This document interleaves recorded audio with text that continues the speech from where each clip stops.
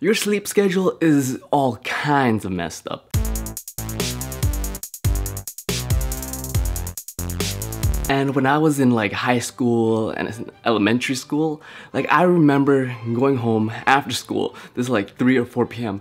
Then I would take like a 4 hour nap and then I would be awake from 12 a.m. to like 4 a.m. And then I'd have school at 8 and I'm like, I just felt like a zombie every damn day. I was your, your definition of a night owl. So when it comes to actually fixing your sleep schedule, whether that's for school or work, but more for probably you're watching this if you're in school and you're young, well, I can relate to you. And there's pretty much two main methods of resetting your sleep schedule. The first step is the 24 hour method, which means you stay up for 24 hours so you'll be so tired so then you'll be able to fall asleep at your desired time and then you'll be able to wake up at your desired time. But the thing is, you have to make sure once it's reset, then you can do this throughout the day because you can't just do it for one day and expect your whole schedule just to be like back to normal. You have to do this over and over again. It's called a schedule and a routine for a reason. Method number two is what I like to call force, which means it doesn't matter what time you go to bed, you know? You could be watching Power Rangers until like 1 or 2 in the morning, but you set your alarm clock to 7 a.m. So it doesn't matter if you get you sleep at 9 p.m. or you sleep at 4 a.m.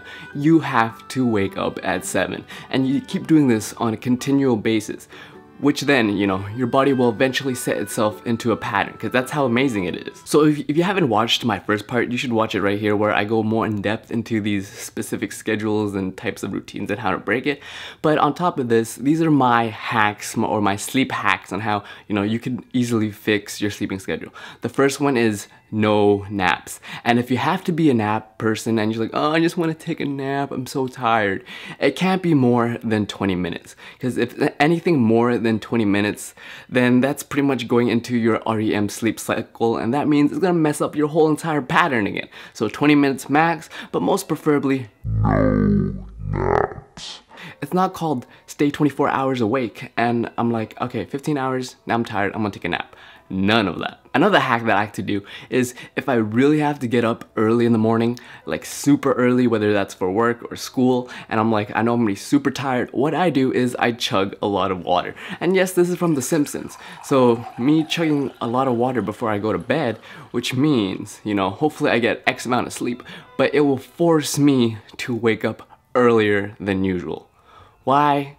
Because chances are, as much as comfy you are in bed and you're snuggling with your pillows, no one wants to piss their pants. And that kind of feeling and urge is gonna override your sleepiness. So you're gonna have to get up and pee. But now you're awake, you might as well just stay awake. And that's how I get up early. And lastly, if you really want to be serious about your sleep schedule, you can't have anything like caffeine, no energy drinks, especially if you're a super sensitive person like me emotionally and physically when it comes to you know stimulants. Because you will just be in bed wide awake. And you're like it's 12 it's midnight and I can't sleep. Okay what happens if I roll over to the left? How about I sleep like this?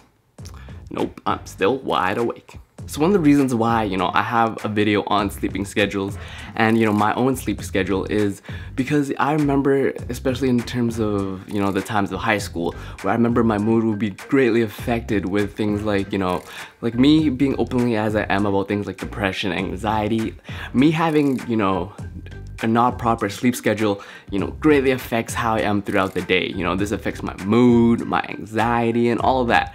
So if you have like a decent sleep schedule to start with, you know, you want to be at your best peak performance. So why set yourself back in terms of mood and, you know, how much energy you have if you don't get enough sleep, you know? It's the most important thing.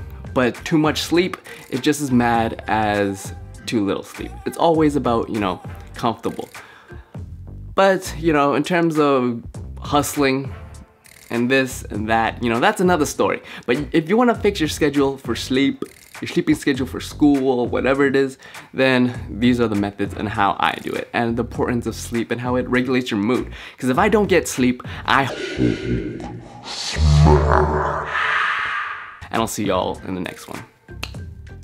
Noses! But the thing is with this method is that it's gonna be ridiculously hard to stay up during the day because you stayed awake for 24 hours. This includes, you know,